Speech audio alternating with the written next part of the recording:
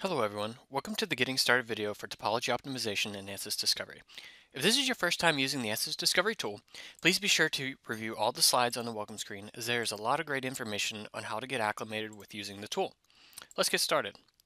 First, let's go ahead and import our geometry. Navigate to Browse, and then open Geometry File. Navigate to your geometry file location, select the file, and open the geometry. Now that the geometry is loaded, we can begin to set up our simulation. In this example, we'll be focusing on the topology optimization of the white brackets shown here. First, we need to isolate this object as the only object for our physics region. We can do so by simply clicking on the geometry and right-clicking and say Solve Physics on Selection Only, or navigating to our geometry tree where we have access to our Add and Remove Physics buttons, as well as hiding and showing the other objects in the simulation. For this example, let's go ahead and hide all other objects except for this blocky bracket.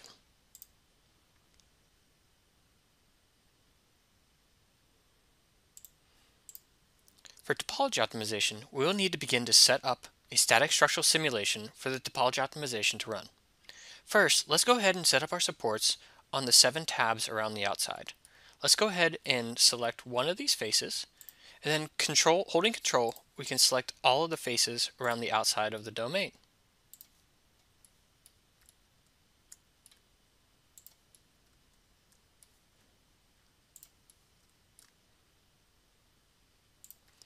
Once we have the geometry selected, we can begin to set up our boundary conditions.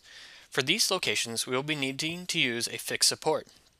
You can access the physics boundary conditions by using the ribbon tab or by using the hex which exposes our halo where we have access to all of our controls. Let's go ahead and select our support icon.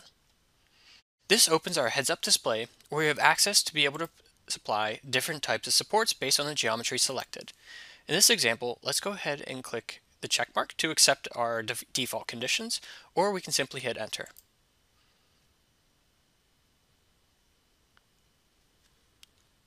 Next, we'll need to set up our forces on the six bolt holes on this face here. Let's go ahead and select the geometry first and then choose our force icon.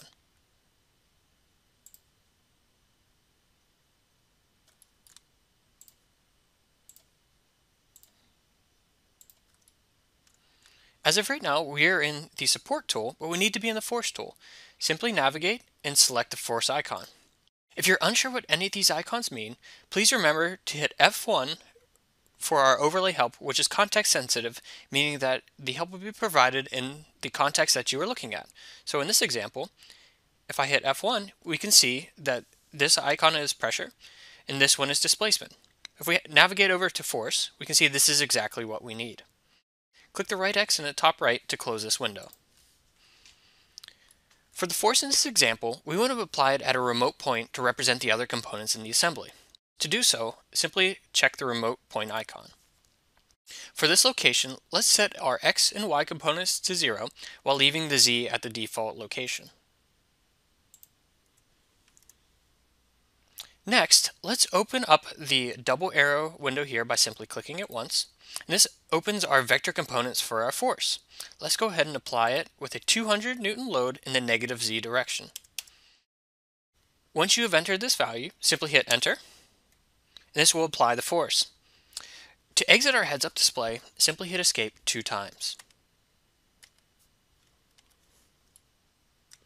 Now that we have our static structural simulation set up, let's go ahead and set up our topology optimization. To access the topology optimization function, navigate to the ribbon where you will find the topology optimization button. Simply click this object and a few things will happen here. First, you notice our heads-up display is changed to a new context with respect to topology optimization options. In the bottom, by our sim simulation information display, you will notice that the topology optimization icon is now enabled.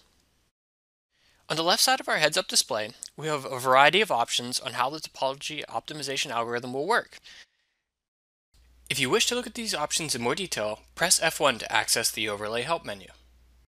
In this case, let's just focus on maximizing the stiffness of this design. On the right side of our heads-up display, we have a variety of options that will tailor the results of our topology optimization, such as maximize thickness, reduce by volume, or pull direction. We will cover these in a more detailed video in the future. For this example, let's go ahead and reduce our volume reduction to about 30%. Next, let's take a look at our protected distance. The protected distance is the protected region that tells the solver not to remove this amount of area around our boundary conditions. So knowing that we have our fixed supports in our remote distributed force, we'll notice that an area of 0.11931 meters is going to be protected from our solver. Now that we have this set up, we can simply hit enter and escape two times to close our heads up display.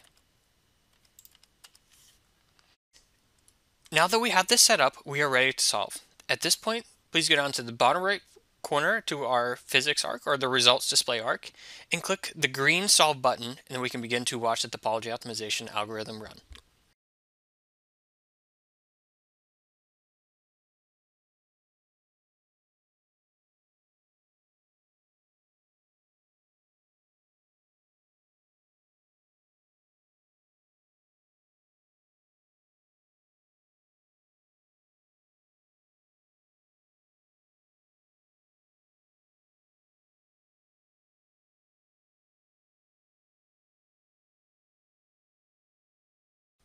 Now that the simulation is finished running, we can click pause to safely review the results. As we rotate the model, we can see the nice organic shape that the simulation was able to generate for us based on the static loading conditions that we previously applied. The one last task that we want to do is we want to convert this to a faceted or an STL geometry. It's a very simple task in ANSYS Discovery, and all you need to do is simply click this object in the bottom right corner. After doing so, Let's go ahead and turn off our contours so we can better review the faceted geometry. By default, the faceted geometry is going to be entered into our geometry tree in the top left corner. By clicking and then right-clicking on this object, we can see the further results, such as creating a validation simulation, smoothing our faceted geometry, or converting this faceted geometry into a solid CAD file. Thank you for watching this Getting Started video, and we hope that you found it helpful. Thank you. Have a great day.